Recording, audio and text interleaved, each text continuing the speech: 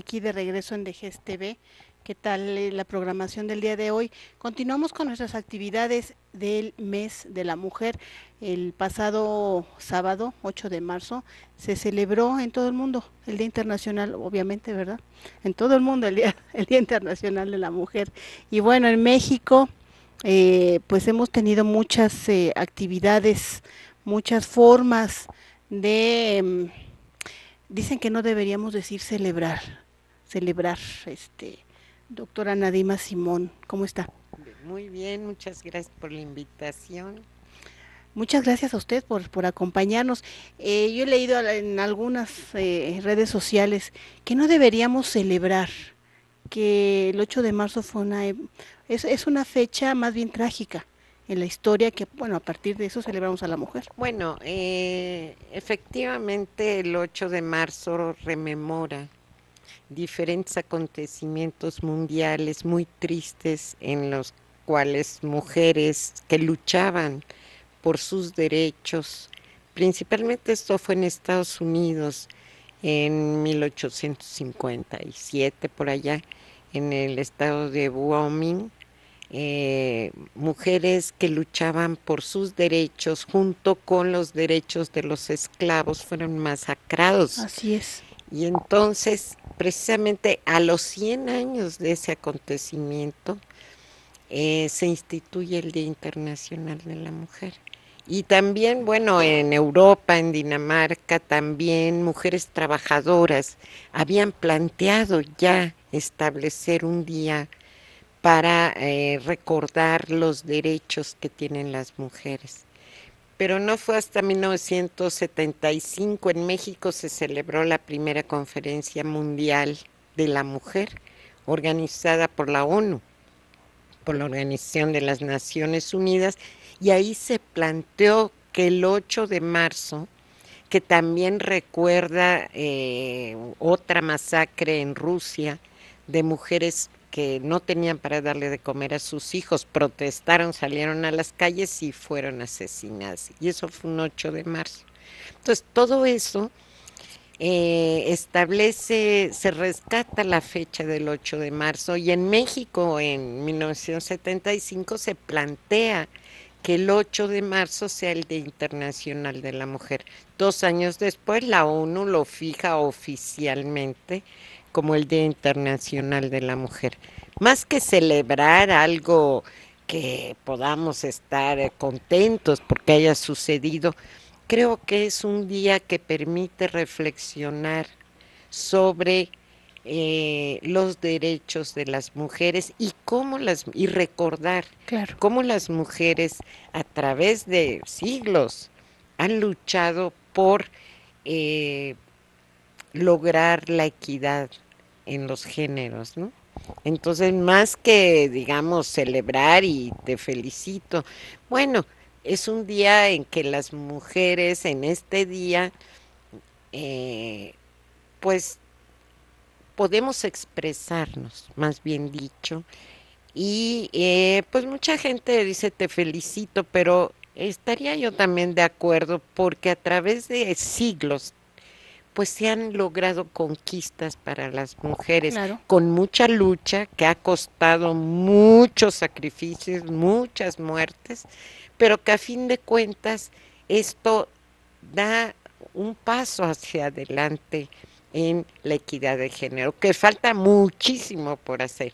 Y también es un día en el que las mujeres debemos de unir esfuerzos y replantear cuáles son las actividades que siguen hasta que se logre la equidad de género.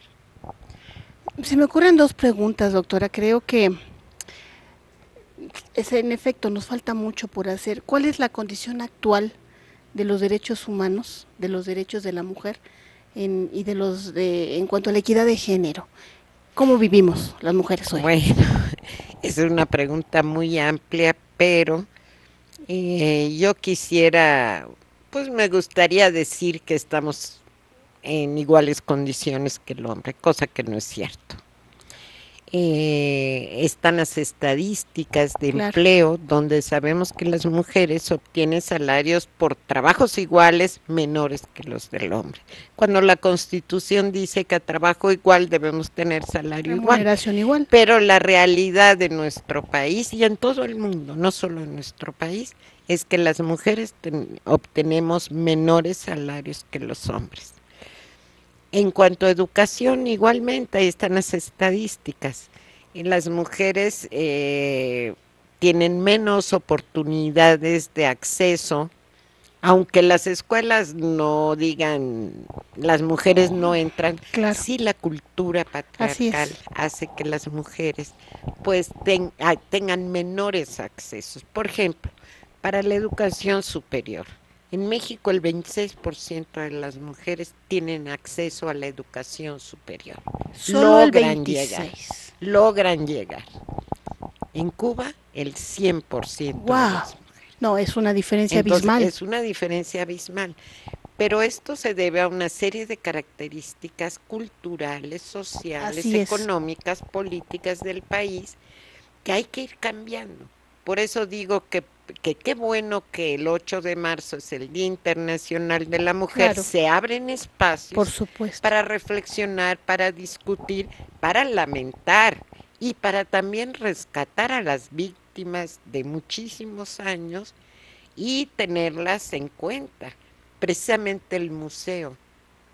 El Museo de la Mujer es un espacio donde se recuerda todas estas luchas que las mujeres mexicanas han tenido y que a fin de cuentas se vuelven historias olvidadas.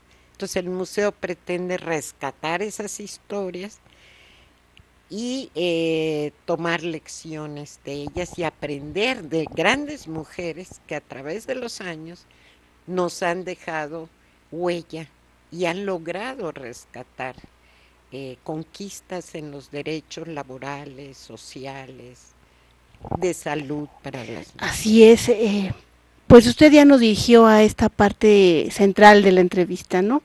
El Museo de la Mujer. La doctora Nadima Simón es profesora emérita de la UNAM y es miembro del Consejo de Honor de la Federación Mexicana de Universitarias. Y bueno, ¿quién mejor que nos, para que nos platique sobre este espacio que la UNAM ha generado para eh, todo esto que usted dijo, rememorar, rescatar, replantear, reconstruir en el tejido social el papel de la mujer. Así es. Mire, eh, la Federación Mexicana de Universitarias es una asociación civil que tiene sus orígenes desde 1929 con grandes mujeres como Rosario Castellanos, Amalia, eh, Eulalia Guzmán, en fin, mujeres muy Amalia Castillo Ledón, y que hicieron la primera Federación de Mujeres Universitarias, que con el y se inscribieron a la Federación Internacional de Mujeres Universitarias, que tiene la sede en Ginebra, Suiza, y es órgano consultivo de la ONU de las Naciones Unidas. Pues bien, esta organización, pues como todas, tuvo su época muy brillante, pero luego se fue disolviendo y en 1990 la doctora Patricia Galeana retoma esa federación y ya se había perdido la afiliación a la Federación Internacional y refunda la Federación Mexicana de Universitarios. La doctora Patricia Galeana es historiadora y entonces ella concibe la idea de crear un museo de la mujer y eh, la verdad de un reconocimiento a la doctora Patricia Galeana porque eh, además de que ella es la de la idea y por ser historiadora, pues la creadora de todo este gran proyecto, también es una luchadora que presenta su proyecto durante muchos años y nosotros la acompañamos a diferentes instancias del gobierno federal, de los estados, y pues como todo, pues veían un museo de la mujer y la pregunta y muchos decían, se ve ¿para qué? Pues para qué y, y, dejaban, pues sí, muy bonito y lo ponían ahí y ahí se quedaba. Hasta que el doctor José Narro, rector de la UNAM, eh, estudia el proyecto y, y se enamora del proyecto y lo apoya. Perfecto. Y entonces, gracias al apoyo del doctor Narro y de la UNAM, eh, se establece este museo en, mil, en, mi, en 2010, tiene lugar en México la uh, Asamblea Internacional de la Federación Internacional de Mujeres Universitarias, donde vienen delegadas de más de 80 países. Entonces, dado que iba a ser la sede aquí en México, el doctor Narro preinaugura el Museo de la Mujer. Le da al Museo de la Mujer el local de la primera imprenta universitaria. ¡Qué gala! Así es, es un edificio que Precioso. está en la calle de Bolivia, Así 17 me parece el número. Eh, es, no es muy grande, pero es un lugar con mucha historia y con mucha una- espíritu de cultura. Una ¿no? energía que se respira en el edificio. Entonces el doctor Narro eh, se da la tarea de remodelar este edificio que estaba bastante abandonado y porque la imprenta universitaria ya tenía nuevas instalaciones Claro. en Ciudad Universitaria. Entonces estaba un poco abandonado, no estaba adaptado para museo, pero con la generosidad de la Universidad Nacional Autónoma de México y como una de sus funciones sustantivas es la difusión cultural, la extensión universitaria, entonces eh, se da la tarea de remodelar y de adaptar ese inmueble para las instalaciones del Museo de la Mujer.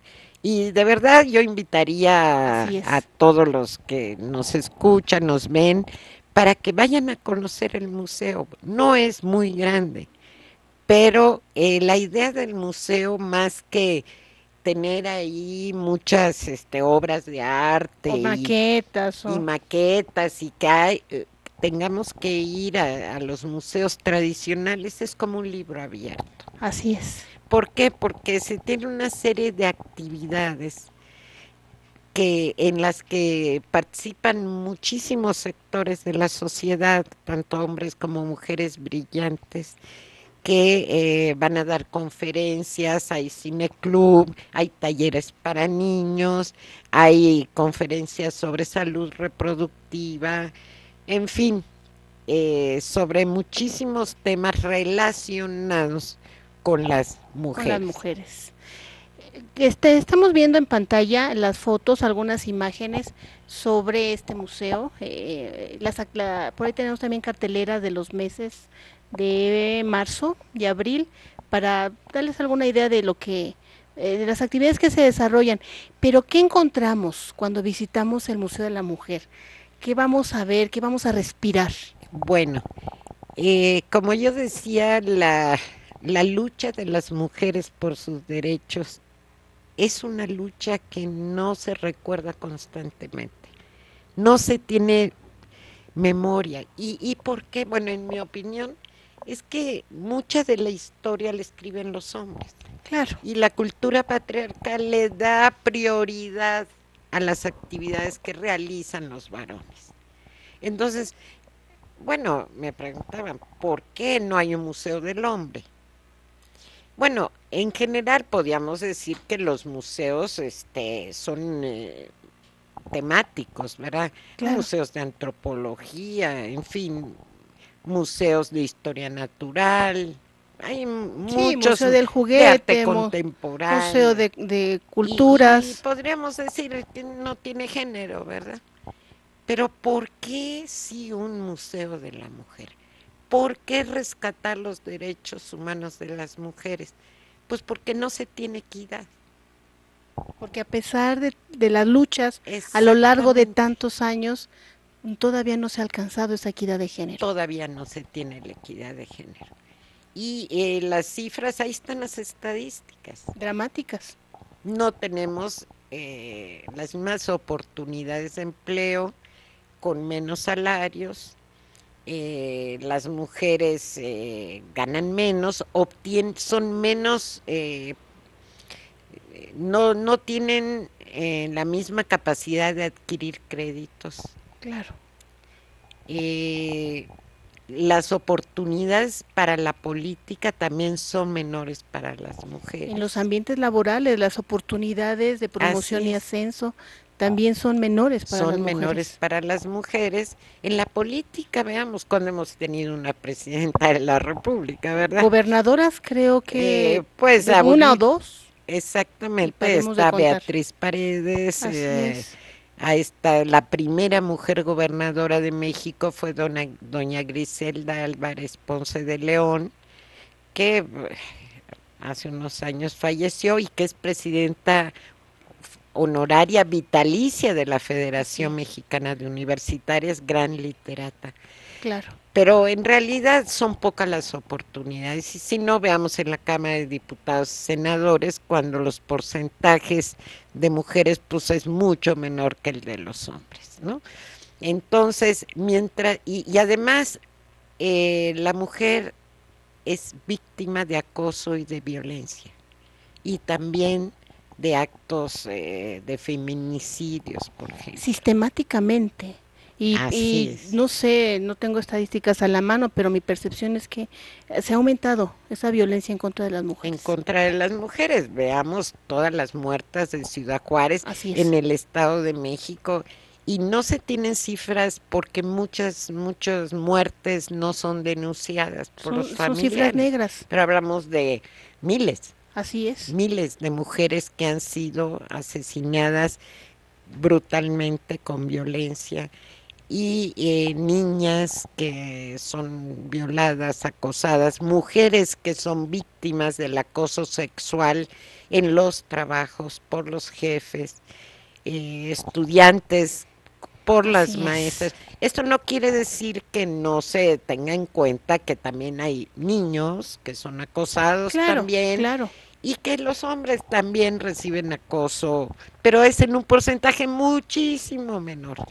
Estamos hablando de que la condición de ser mujer ya es un riesgo. Exactamente, somos un sector vulnerable. Así es. Y en la medida en que seamos, eh, por ejemplo, las mujeres indígenas, mujeres pobres, es el Bueno, sector más vulnerable de este país. Pues Y mientras el sector más vulnerable del país, las mujeres universitarias que tuvimos la gran fortuna de estudiar, que se puede decir que estamos en la punta de la pirámide como somos las que estamos en la Federación Mexicana de Universitarias, tenemos la obligación así es, es una obligación de moral. trabajar, ¿verdad? Y el gran gusto, porque esta es, esta es una misión en la vida, de trabajar para mejorar la condición de las mujeres mexicanas, que de verdad es, es una lucha que debe intensificarse y que yo invitaría a todas las mujeres que nos escuchan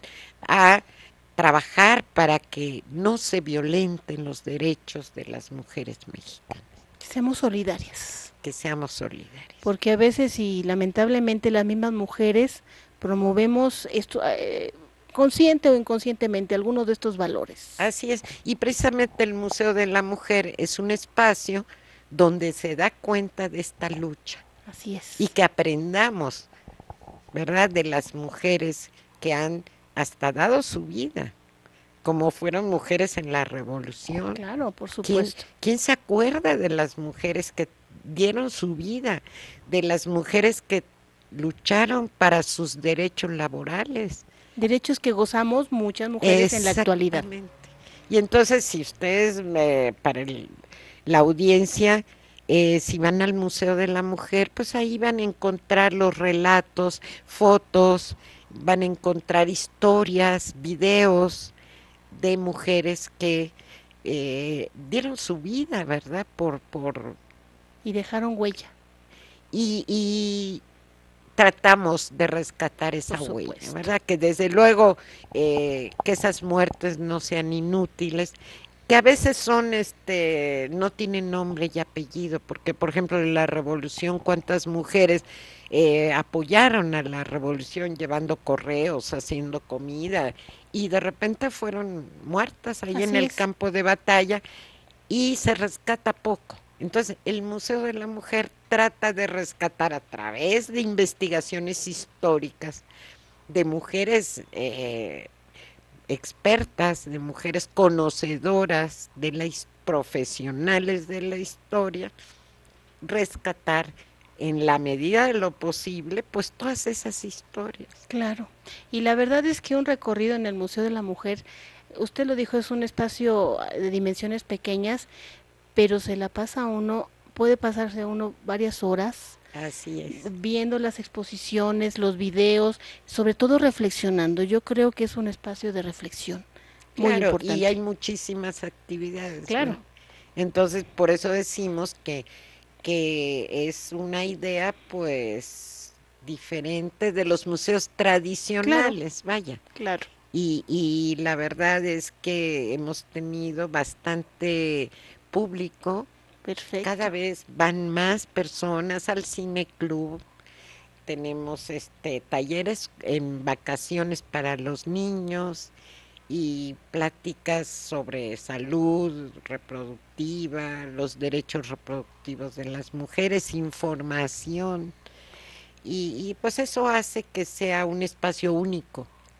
Único, me decía que tres museos en el mundo sobre pues la mujer. No tengo clara la cifra, porque yo sepa de tres, pero, eh, pero son pocos, muy pocos, comparados con los demás museos claro, temáticos. Claro. Pues yo creo que México ya cuenta con uno que, que realmente eh, está muy bien montado. Sí, no, es, es, es perfecto. Y, y es en el centro histórico, donde hay Céntrico. muchos museos, donde mucha gente puede ir a, a pues a caminar por el Así centro es. histórico, que realmente es muy agradable. Así es. Está cerquita de la iglesia de Santo Domingo, que es una iglesia muy, muy bonita. Así es. Y cerca del Zócalo. Sí, el metro, ¿es el metro Allende? En el metro Allende, el metro sí, o en el, en el Zócalo y caminan Así es, por la calle de. Brasil Así es. y ya llegan a la calle de Bolivia y realmente este, podrán ver la cartelera y la van a tener en, en la pantalla de todas las actividades que se hacen en el museo. Pues qué interesante, doctora, pero creo que también tenemos ahí participaciones de nuestro público. Joe. Sí, claro, aquí están ya participando las escuelas. eh, eh, tenemos a la escuela 9, a la escuela 107 que está José del Refugio, la escuela 22 está Sergio, la escuela 26 Ángel, en la escuela 29 de Yanira, la escuela 44 Mal- Mar del Refugio, la escuela 56, en la 91 está Gustavo, en la 92 está Martín, en la 96 está César MR y el Sensei.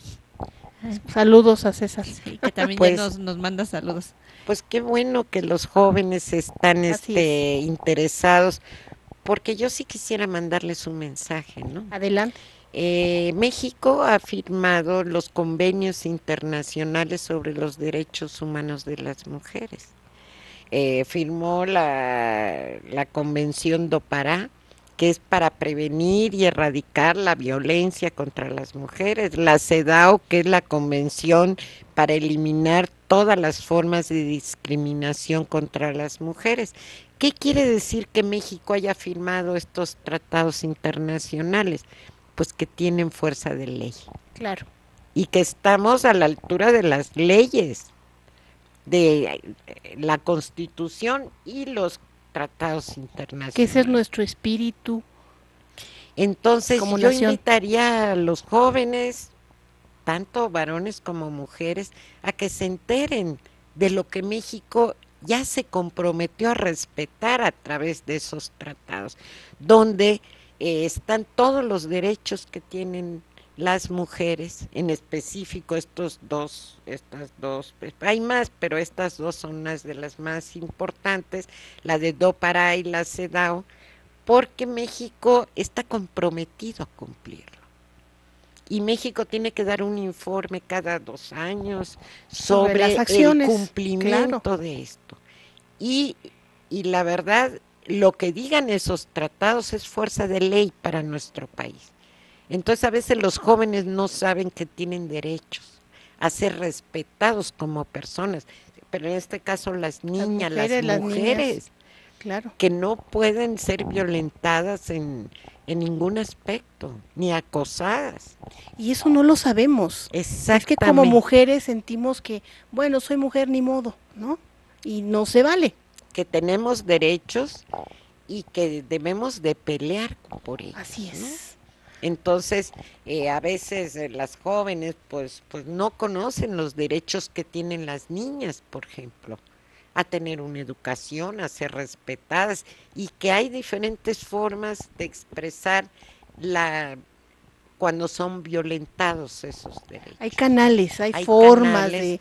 en de todas las, este, en todos los estados de la República, institutos de la mujer, por ejemplo, Claro, claro. Que eh, se encargan de ver que esos derechos se cumplan. Pero yo creo que es muy importante, nosotros hemos hecho encuestas entre alumnos de la Facultad de Contaduría y Administración, que es donde yo trabajo, en la Facultad de Psicología, y la verdad ni siquiera los alumnos universitarios conocen Así los derechos reproductivos de las mujeres. Qué grave, Y eso es muy grave. por supuesto. Entonces yo invitaría a los jóvenes de secundarias para que desde esta edad se enteren de cuáles son sus Y derechos. ejerzan esos derechos. Exactamente. Pero si no los conocemos, ¿Cómo los ¿cómo vamos a los, cómo los vamos a ejercer? Así y es. mucho menos cómo vamos a hacerlos valer. Así es. y defendernos de, la, de las violaciones a esos derechos, sea el Estado, sea la familia, sea en el Sea ámbito mi pareja. laboral, sea en la escuela. Claro, ¿Por qué? Porque pues se dan casos de acosos en la escuela también, Sí, por claro, parte por de maestros, alumnos, lo vemos en la televisión, así es. y las alumnas creen que si no aceptan, pues las van a reprobar o las, las van van, a expulsar, castigar ¿no? o las van a expulsar. Sí, claro. Y, pero si ellas están conscientes que tienen derechos, entonces van a, a tener, a empoderarse, podamos decir, Así y es. levantar la voz y apoyar a sus compañeras. ¿no? Así es. Entonces, el Museo de la Mujer trata de comunicar todo esto. Qué misión tan importante Pues yo creo que y sí, tan loable. así es. Tenemos comentarios en el chat, mi querida Joe. Sí, Susi, estamos aquí con, con el chat que está activo. La Escuela 56 nos dice, es muy importante la labor que desempeña la mujer.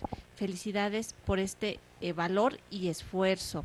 Eh, Maru regresó porque tenía problemas con el internet. Nuevamente, bienvenida Maru. La Escuela 92, Martín.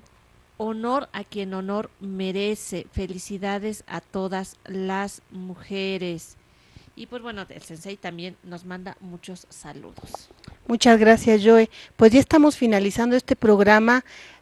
Yo lo decía en otros en otros espacios, nunca va a ser suficiente el tiempo para hablar de la mujer, pero tenemos que pasar de hablar a la acción. Así es, y, y bueno, ya llegará un día en que tengamos, logremos la equidad de género, ¿verdad? No, la igualdad eh, no es posible porque somos diferentes, Somos diferentes, biológicamente. mujeres, claro. Pero una cosa es la igualdad y otra cosa es la equidad. La equidad es. es. tener las mismas oportunidades y los mismos Derechos. derechos, ¿no? Y para ello, pues todavía en México hay que trabajar mucho. Yo invito a todas las mujeres de todas las trincheras para que se unan, como lo han hecho mujeres notables a través de la es. historia que pueden ver en el Museo de la Mujer y que cada vez eh, se respeten más los derechos de las mujeres en México. Pues muchas gracias, doctora Nadima Simón, eh, por No, esta, gracias a ustedes esta por charla tan encantadora, por la invitación. Vayan al Museo de la Mujer. Así es, No ahí se los lo esperamos. Muchas gracias. Nosotros despedimos nuestras transmisiones del día de hoy. Gracias por acompañarnos. Mi nombre es Susana Argueta. Nos vemos el próximo martes. Disfruten este descanso muy merecido. No se extralimiten. Los esperamos el martes a 10.20 de la mañana aquí en Dejes TV, TV Aprendiendo. Hasta luego.